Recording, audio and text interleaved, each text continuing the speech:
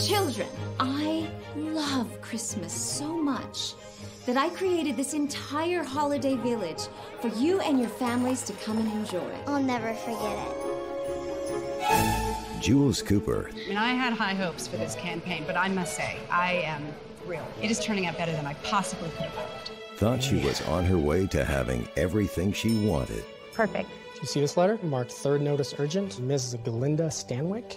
It's Grandma Glinda. Until one Christmas, I inherited Christmas land. everything changed. Who knows? You know, you might be able to sell this thing, make a nice little profit. Tucker Barnes. I'm the estate attorney. I went to law school with Tucker Barnes. He had a reputation. Counselor. Oh. I've got a meeting lined up with the guy who wants to buy this place. Already? No one will take better care of it than